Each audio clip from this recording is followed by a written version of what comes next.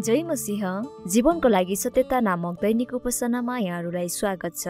आज फेब्रुअरी चौबिस तदनुसार फागुन बाह्र गते शनिबार र आजको वचनको मुख्य खण्ड रहेको छ मलाकी तिनको एक। हेर म आफ्नो समाचार बाहकलाई पठाउनेछु र तिनले मेरो अघि अघि बाटो तयार गर्नेछन्। तब एक्कासी ती प्रभु जसलाई तिमीहरू खोज्दछौ आफ्नो मन्दिरमा आउनेछन्। अर्थात् करारका ती समाचार बाहक आउनेछन् जसलाई तिमीहरू औधी चाह गर्दछौ। सर्वशक्तिमान परमप्रभु भन्नुहुन्छ। आजको शीर्षक रहेको छ मौनतामा आशा। परमेश्वरका मानिसहरू प्रतीक्षा गरिरहेका मानिसहरू हुन्। परमेश्वरका मानिसहरू बेबिलोनको निर्वासनबाट फर्केपछि हाक्कै जकरिया र मलाकी जस्ता साना अगमवक्ताहरूले तिनीहरू कहाँ परमेश्वरको वचन ल्याए। तिनीहरूले प्रचार गरेको सन्देश मानिसहरू निर्वासनमा जानु अघि तिनीहरूका पुस्ताले भनेका जस्तै थियो तिमी इजरायलीहरू हास्यास्पद छौ तिमीहरू बारम्बार व्यवस्था भङ्ग गर्छौ र यदि तिमीहरूले निरन्तर करार भङ्ग गरिरह्यौ भने परमेश्वरले न्याय गर्नुहुनेछ। तर साना अगमवक्ताहरूका सन्देश न्यायको सन्देश मात्र थिएन। यो आशाको सन्देश पनि थियो। भौतिक रूपमा तिनीहरू आफ्नो भूमिमा फर्किएका थिए तर आत्मिक रूपमा तिनीहरू अझै पनि निर्वासनमा नै थिए।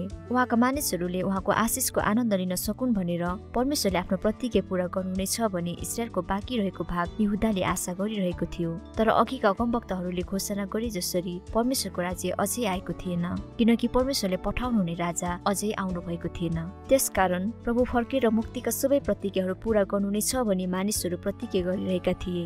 मलाकी जो पुरानो करारको अन्तिम अगमवक्त थिए उनले पनि राजा आउने कुरालाई जोड दिए तर त्यसपछि चार सय वर्षको मौनता छायो। मानिसहरू जन्मे आफ्नै काममा व्यस्त भए मरे र यसरी नै समय चलिरह्यो। सायद तिनीहरूले एकअर्कालाई यसरी सोधे म आफ्ना समाचार बाघलाई पठाउने छु र तिनले मेरो अघि अघि बाटो तयार गर्नेछन् भन्ने उहाँको प्रतिज्ञा के भयो? उहाँले यसरी प्रतिज्ञा गर्नुभएको शताब्दीयाँ भइसक्यो। अन्तत सायद ती मध्ये केही मानिस बजारमा हिँड्दै थिए र अनौठो लुगा लगाएको र अनौठो खाना खाने हाँसो लाग्दो पात्र पुरानो करारलाई उद्धृत गर्दै देखा परे। परमप्रभुको मार्ग तयार पार उहाँको पद सोझा बनाऊ। मर्कुस एकको दुई र तिन।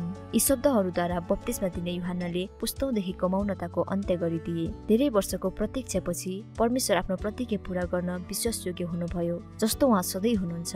उहाँले आफ्नो समाचार बाहक र राजा दुवैलाई पठाउनु भयो ताकि उहाँका सबै मानिसहरूले उहाँको आशिषको अनुभव गर्न सकुन्। उहाँले यशुख्रिस्टद्वारा मुक्तिको प्रतिज्ञा पूरा गर्नुभयो।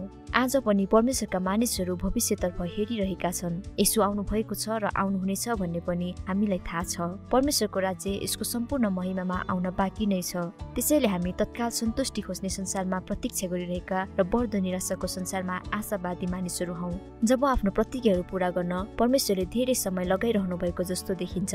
निराश नहुनुहोस्।